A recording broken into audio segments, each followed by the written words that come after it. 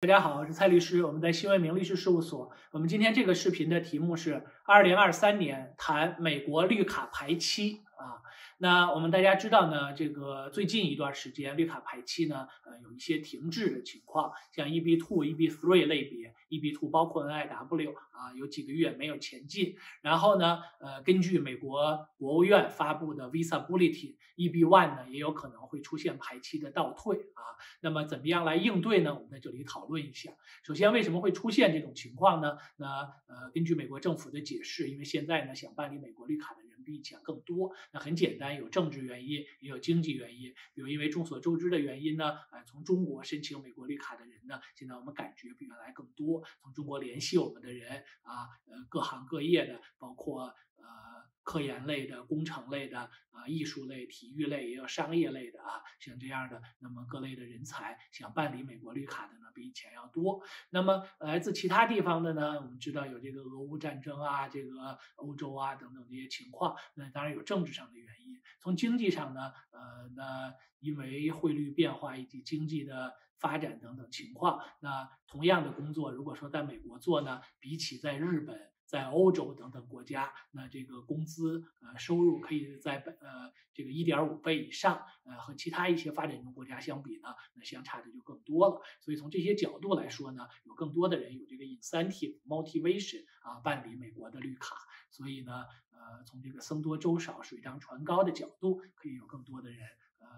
来办理呢，就造成这个移民签证这个 visa b u l l e t 啊这方面排期呃很长时间没有前进，甚至呢 EB-1 有可能出现倒退啊，因为有更多的人来申请 EB-1 呢，所以啊。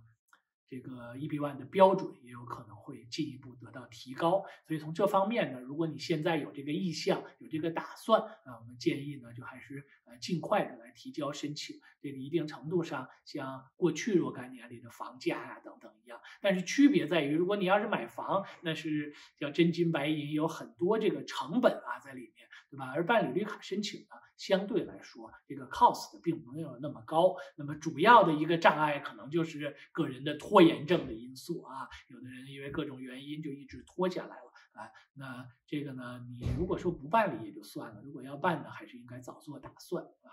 那呃，所以从这个 EB one 的申请来说，应该是这样的，尤其是来自中国、印度的人更多啊。所以一方面造成可能会要有排期，另一方面呢。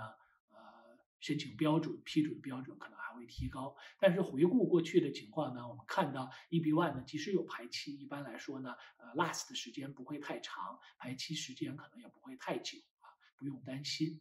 那么如果说个人现在还不一定符合 EB one 的标准啊，case 还比较弱或者 borderline 呢，那么也可以考虑啊更早的来申请 NIW，因为一旦有排期呢，那你有这个较早的优先日期就更有用了啊。你提交了 NIW，比如说按照 NIW 排期，可能就排到了，啊，那么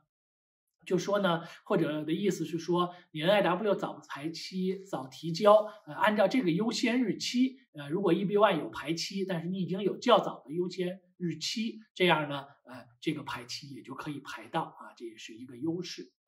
那么，呃，对中国申请人来说，NIW 排期会怎样演变呢？这个此前我们也简单讨论过。回顾过去，过去十年里呢，中国申请人 EB two 的排期一直在四年左右的时间啊。从另一方面呢，我们看到呢，呃。因为这个绿卡排期本身的逻辑啊，这个 category 这方面，EB one 长期出现排期呢，呃，对美国移民局这个 policy 来说应该是不利的，因为它这个 idea 呢，就是说要杰出人才嘛，top small percentage 啊，那么呃，从这方面呢，排期应该是一个临时性的。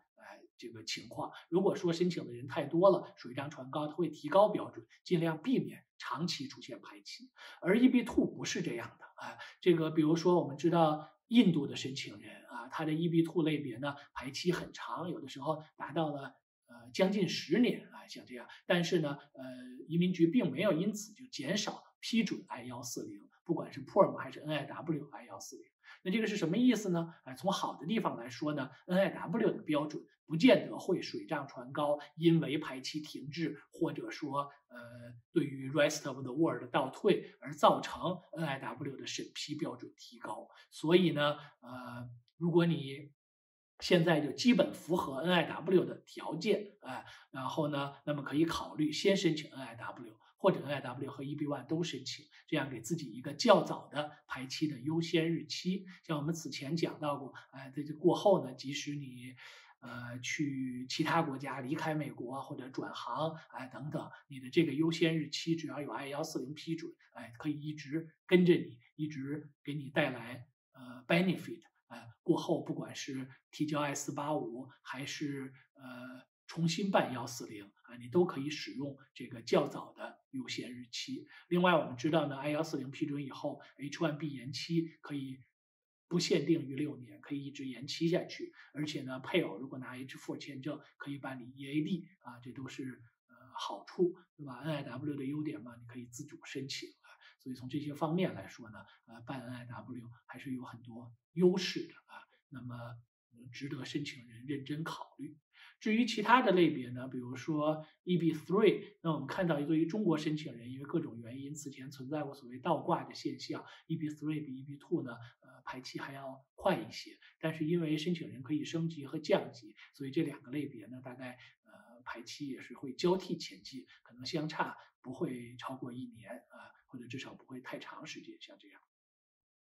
EB 五投资移民呢，我们此前也讲过啊，因为存在有更多的不确定性，有一些新的项目，但是呢，呃，因为才刚开始，所以还有待于观察啊。呃，至于其他类别的呢，我们看到亲属移民呢，啊，尤其是美国绿卡持有人的配偶和未成年子女，啊，过去几年一直都没有排期，这个是一个呃，对于很多中国申请人来说可以用到的一个有利条件啊。那其他的亲属移民呢？在别的视频里头也都讲过了啊。Immediate relative 对于美国公民来说啊，可以不用排期。啊，其他的呢，像呃美国公民的兄弟姐妹啊、成年子女啊等等，啊有这个排期的问题。总体来说呢，这个拜登啊政府这期间，民主党政府呢，应该说对于移民是更友好的。我们还记得在川普政府时期呢，呃。出台了各种各样限制工作签证和绿卡申请的政策啊，好多时候呢不是针对非法移民的，更多是限制合法移民的。拜登上台以后呢，各种原因，呃，这个取消了这些限制，而且呢也吸引了更多人办理美国绿卡。那什么事情有两面？那申请美国绿卡的人多了呢，也就造成了这个排期的问题。嗯，再回顾、重复、强调一下。现在呢，移民局的说法是，今后几个月里，EB1 类别有可能会出现排期。NIW 呢，呃，除了中国、印度以外，rest of the world 也可能会出现排期。这也预示着呢，呃，排期前进可能还会继续相对比较缓慢，在今后的几个月里啊。那怎样来应对呢？那如果说，你还没有提交你的幺四零申请，我们建议呢尽早的开始准备啊。那同时呢，呃，如果你符合条件啊，也还可以在美国用呃各类签证啊继续在美国生活、工作、上学啊。同时呢，等待这个排期的变化。那根据我们过去的经验，这个排期的变化呢还是一个波浪式的。我们再强调一下，中国申请人总体来说。呃，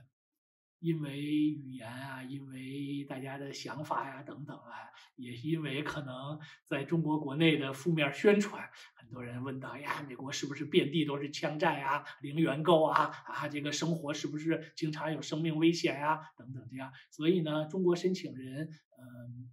这个在美国的数量啊，这个比印度申请人呢还是要少。可能因为很多印度人直接来到美国工作，当然这也有一些语言因素等等吧，啊，所以呢，呃，中国的 EB two、EB three 排期形势比印度申请人还是要好得多啊。那呃，至少过去十年一直是这样的。那么希望呢，呃，有意向的申请人还是及时抓住机会啊，然后呃，这个离原陷鱼不如退而结网啊，采取行动。好，那我们这个视频呢，讲到的是二零二三年绿卡排期展望啊。我们律所呢，为很多申请人取得了绿卡和各类签证的批准。有更多的问题可以联系我们，谢谢。